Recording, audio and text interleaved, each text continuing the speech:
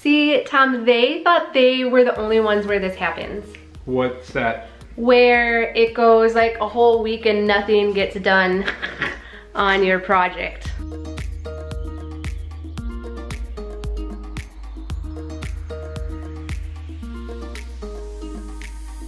Everyone says the same thing, like these projects like just drag out, right? And like, we were clipping along pretty good. Then Tom got pulled into field work and then what's been your newest distraction? Shiny object. It's still not shiny. No, but So I may have bought a old truck that the intention was to turn it into a burnout truck for Cleetus and Cars event in Florida on May 30th. This is so funny because this is where um, this is where I feel like I never fit in with any of the other minimalists. Like I feel like they're wearing their LL Bean rain boots and I'm like, oh by the way, my husband's like building a hot rod in the garage and like My husband's trying to find 110 octane fuel. like anybody out there got any Anyone ideas? else know where you can get that? So First off, I've never actually ever done this before. Like I've wanted Yeah. to and I've always like get so far and then I talk myself out of it and then I get far and and so I made it public to the internet yesterday so I kind of can't quit now. done deal. Yeah, we're, we're holding him to it. Yeah. So, uh, so literally the only thing we've gotten done on our staircase flipping project since last Friday when we visited with you was I painted the wall. I do not agree with the white. No white. I like the white. This And is it looks my- awesome. This is just uh, two coats of primer, but I think you can see the lines. Yeah, you can actually see the lines. and actually, in person, it looks uh, very cool. I think there's a knot. I have to fill this in. There's a knot there, and I have to fill the, the nail holes. But I think Yeah, I like it. it it actually it looks exactly like what I was hoping for. So, And it looks nothing like I thought it would. no, I like it. Yeah, no, I'm really happy with how it turned out. So again, we're gonna put a counter. We have butcher block counter there. So there's still gonna be like some wood. And color, again, grain. it's the cheap butcher block. It's actually Yeah. It's actually workbench material that I'll finish just like I did our camper. So it's like a third the price of actual butcher block. And that's also why we haven't gone any further is the cabinets that we ordered. We just ordered unfinished cabinets from Home Depot because they were the cheapest. Um, they were delayed in shipping, which We've It's- got a question mark on the shipping date. yeah. so we're waiting for those. When the cabinets get in, I'm trying to have this all done so that when the cabinets come in, Tom can throw together the counter area here that is gonna go there because I just need to get the kids back to like a work space. Um, and so I'm excited to get that all put together, but again, we can't really do anything right now. Um, well, I mean, we could be like mudding and taping and fixing the light Show them what it fixture looks like outside. it's gorgeous outside right now. Okay, so, but what I was thinking about was that uh, this time last year, Tom was freaking out because he ordered 200 trees and he thought somebody stole them. And so we were so excited because Tom got an email saying that the trees were gonna be delivered and that's all he wants to do this weekend. We've been watching the forecast. It's gonna be okay out and so we're so excited. We get the email notification they've been delivered. They should be outside our front door and there we get home and there's they're nowhere to be found nowhere so he pulls it up and it says they've been delivered and someone signed for it even and so he's on the phone right now just trying to figure out where all of our trees are. So what do the FedEx people have to say to you? They think that they delivered to someone else and somebody else signed for them and now they're gone. so if you guys know where our trees ended up would you please let us know? If you know what F. Quigley is who signed for them. So last weekend we found the trees. When did we find the trees? It was a day later. Dawn was right, I was wrong.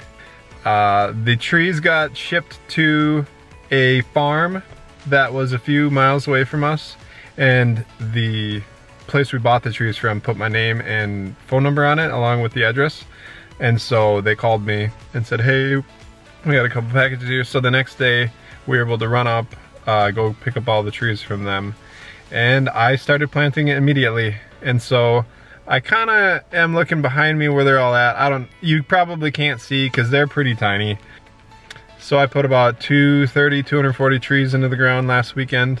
Last spring then, we did track down the trees. They accidentally got delivered to a neighbor about two miles away.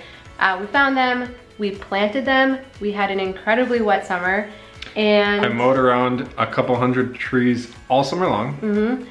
So... You guys wanna know how tall I actually am? just, just, so you know. Tom's 6'2", I'm 5'2". Um, okay, so we wanna go out and uh, we'll just go look at the trees that we planted and see if we think anything's living. It, there's a lot that doesn't I really hope so there's good. a lot of life. All right, so real quick though, I wanna show you uh, how awesome Minnesota is right now. It's gorgeous out. No, these tulips. Okay, we moved in four years ago. This was the first thing we saw. One red tulip came up, and that's what we've had the last three years. One red tulip. Look at all these tulips this year. Once in a while, the tulips will just like multiply, and there's still like a bunch that haven't bloomed. Isn't that wild? What is all this? Those are lilies. And then right here is a peony bush that's starting to come up. Also, what Tom doesn't know, my next project is Oh, to make over the barn. All right, here's the deal. I just need, I need until like the second Oh, I week- know. I need the second week of April. After the second week of April, I'm yours. Yeah. So here's where the oak tree was that we lost last winter. So basically we had a really bad thunderstorm come through with straight line winds. And we lost a, I don't know, what, a couple hundred year old oak tree? That's the best we can figure, that the oak tree is about a couple hundred years old. So here long before any of us were ever here. And it just kind of, it framed our yard. And what we're especially realizing now is that it There's an enormous hole where it was. it blocked us from the neighbors. And so when you're a quarter mile off the road, you kind of expect that you don't see your neighbors. And now we can see straight into their yards. So, which I, it's fine for me. I like people, Tom. It was- These are big, these were good sized maples that Tom planted in the fall. Yeah. All right, we're home with the trees and now I am going to start taking them off the trailer and getting them ready to go in the ground. No, wait, what's what's silly is we're trying to replace a couple hundred year old oak tree with something I can plant. like a four-year-old maple tree. Yeah. so it'll take a few years, but they're really pretty or maybe like a decade. and they look really good. So, and the guy was telling us we've normally bought balled and burlapped trees, but these were a little bit These different. He, he he grew them in a bag, and he said, well, it's like a fabric bag. He said that you get like seventy percent more root growth in the bag versus balled and burlapped. I don't actually know. I've only planted balled and burlapped. And they're alive, which is good because they were extremely expensive. And now we'll show you the new trees that we planted. Well, So what's the first row, Tom? uh, first row looks like a bunch of stick, sticks. We got Looks like Charlie Brown Brown Christmas trees. two, three, maybe a couple down there. I'd say What are they, 80% though? of these are dead. They're pine trees. They're little pine trees that Tom planted. So one, this guy's is really crooked. We can straighten that. Snap. Yeah. So I think if you look down I think we got like the whole row, I think, yeah, I think we have like five that are still living. So um, that's definitely a fail. like these companies would resend the trees if we like send in our label and stuff, but like do you want to get trees and plant the same trees from the same company that you had failure with? Like that's always the thing too. Like is it really worth it? We're probably just gonna buy new trees locally and just go from there. These are autumn blaze maples. Or no, no, they're sugar maples. So these are good for tapping and making maple syrup, which we have a friend that lives around us who does do that. We're So- not planning on doing that though. We won't do it ourselves. We no. just want privacy. This one I think is dead. Yeah, that one doesn't look very good. This one, one- over here one looks looks good. good. Which last year these all were doing really well. Which Yeah. maples maples grow really well where we're at. Yeah, they're pretty easy to grow here. Um, No, that that one, one's dead too. yeah, like every other we're going. That one's good. That one's good. That one's good. Yeah, so I'd say the maples are. I'd say like a 90% success rate. This looks dead on top, but, But it's growing down below. down there. Probably like a 90% success rate with the sugar maples. Yeah. They're just a slower, slowing, slower growing tree, so Now these, these were what we were really hoping would take off. these are the poplars. They're a fast growing Oh, Tree. Look, look at this though. down below, does it? Remember, so we looked at this one a while back, Mm-hmm. and we were like, "Oh, that's dead." But come look over here. We got two two buds coming off of it. Yeah. So they just needed a little more time. But these are supposed to grow like Like- 12 to 14 plus feet a year. Yeah. So we were like, okay, cool. That's like instant privacy. They're supposed to just like grow like weeds, so that was a little. Right, we know that they're su- so our understanding of shade tree poplars is they're kind of garbage trees is Yep. what we've learned. like 30 year lifespan. Yeah, grow super fast and die. We just want them to grow really fast and get big and block us from the road so then mm-hmm. our better trees They can grow. can mature and grow and then when the poplars go, the poplars go. yeah. So So that's our long game. that's the hope. yeah. They're kind of like the perfect millennial tree though because we're like we want we want to We want it now and we don't want a huge commitment. Yep, maybe that's how they should market them. Market poplars to millennials. to millennials, right? So if they grow 12 feet this year, I'm gonna be like giddier than a guy doing a burnout.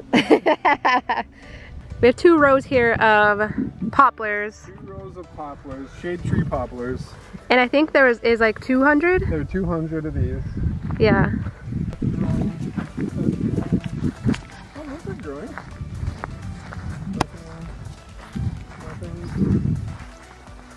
Nothing. Nothing. Nothing. So what do you think we're at? Like maybe what 35%? Is this one of the poplars? Just jumped out of the ground? How did this one grow?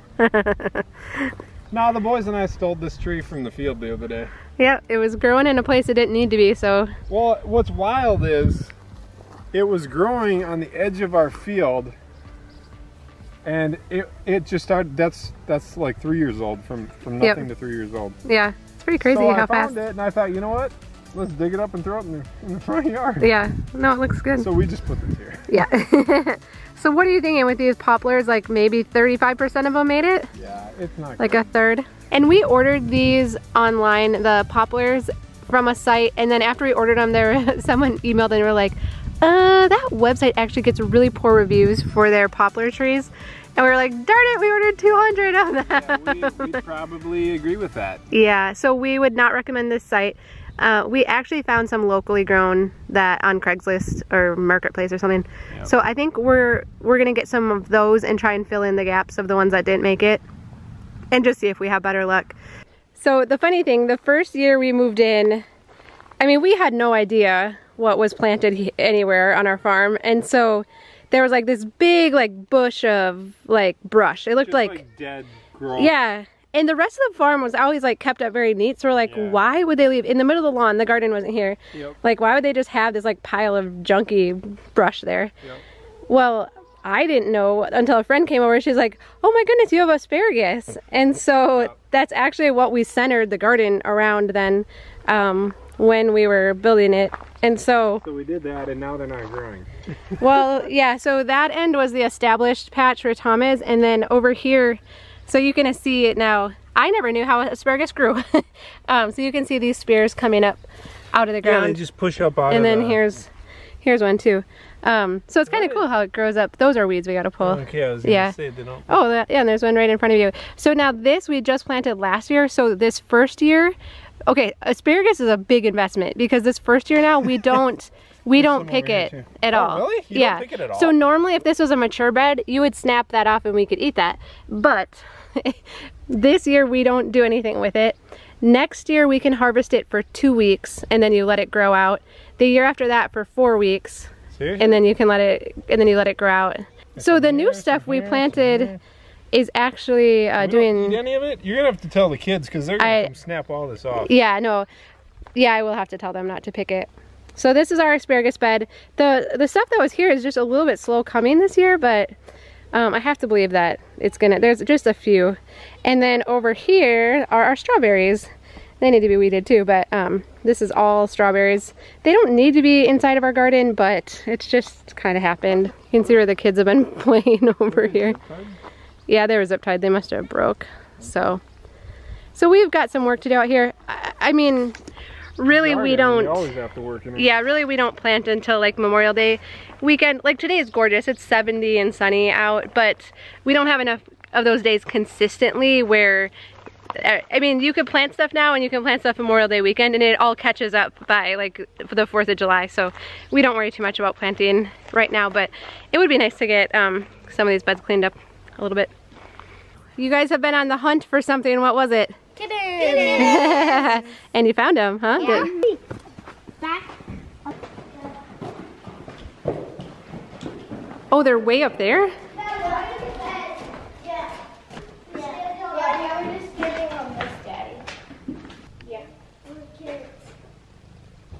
Did you find a nice cozy little spot? That's what I was saying when they were laying on something fuzzy. I was meaning the kittens. The nature around here is just unreal. Okay, so I cleaned it. I've been cleaning this out every day, except I missed one day. So this is two days worth of construction. Not even exaggerating. This is two days worth of construction. And what else happened in two days, Dawn? We've got robin's eggs. Yeah, now I can't clean it out. Now you have to. I don't the white. Oh. I want to look. And look, guys, it's so tiny and blue. I want to see. Oh, there's two. See how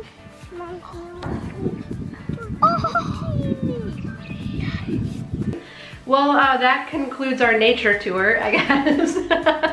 Of the life and death on a farm. yeah. It's true. Every day is, uh, yeah. There's just, I don't know. You know, growing up on a farm though, it is, uh, it is pretty cool. I think I took for granted how much you see like things live and grow, and um, yeah, it's always, I don't know, it's kind of fun. So I'm glad our kids can have that experience too. Although we have to train them to work harder in the garden this year because Um, well, just in general. it general, yeah.